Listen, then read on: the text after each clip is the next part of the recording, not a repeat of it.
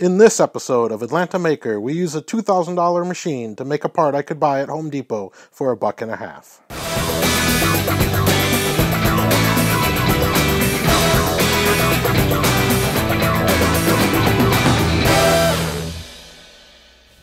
In a hurry to use my new table saw, I forgot to hook up the dust collection.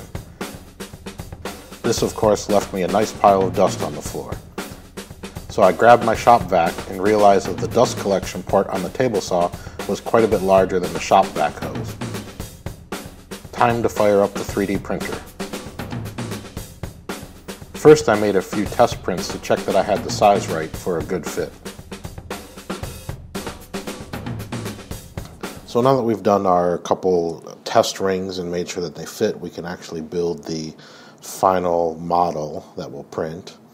And uh, I'm using Autodesk 123D design, which is free. They have a paid version too, but I'm just using the free one. So the first thing we want to do is start with some primitive shapes here. So I'm going to take a circle and we're going to make uh, the big one is uh, 32 in radius the big uh, entry on the uh, table saw.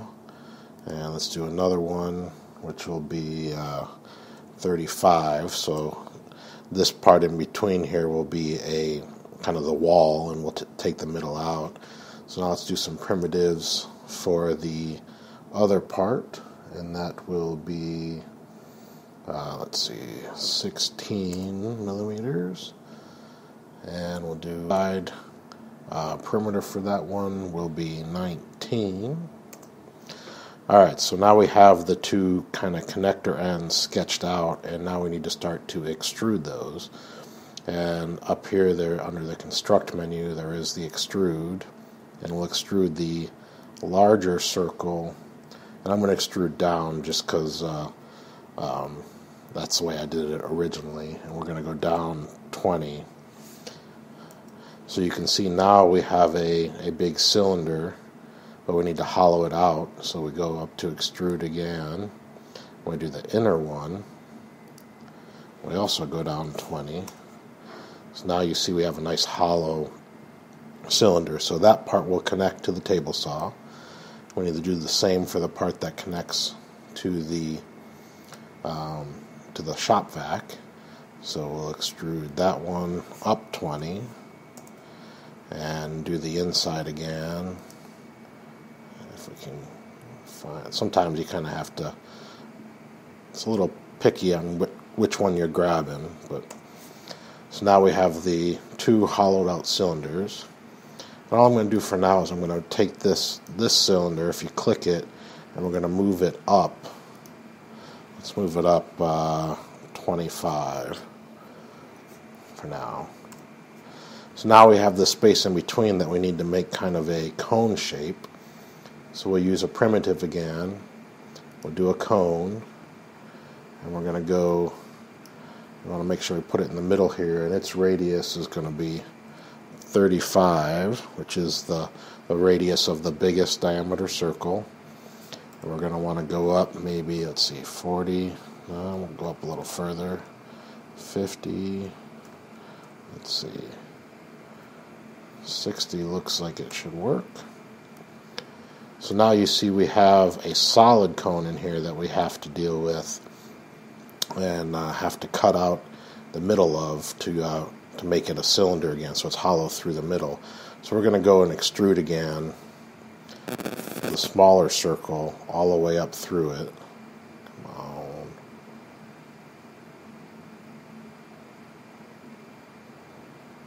There we go.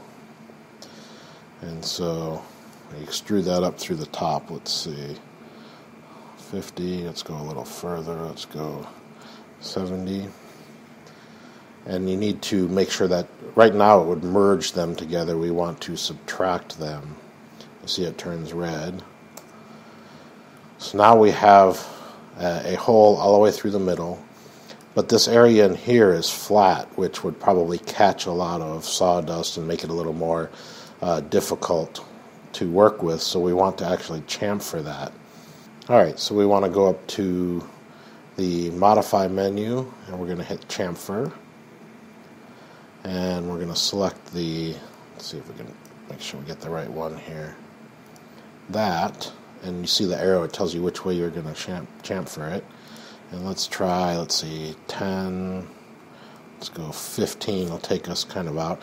And that'll create a little angle, which if you look at it now, it's kind of hard to see in here, but it angles from in here all the way down to the to the smaller diameter hole. So at this point, our object is done, and we can export it into our slicing software.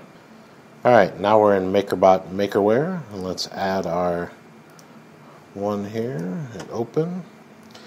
Now, uh, when I printed this the first time in this orientation, it actually didn't print very well. This little uh, angle cause some stringing.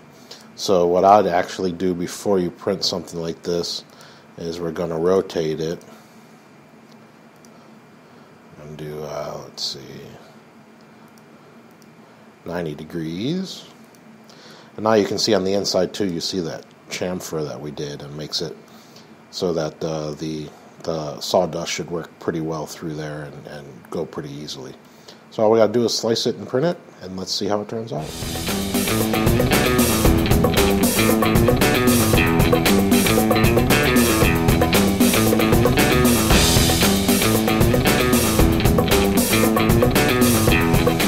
So here is the final 3D printed part. You can see that chamfer that I mentioned by building the model. I popped it onto the saw and my dust collection problems were solved. Thanks for watching, and if you like this video, please hit the like button and consider subscribing to my channel.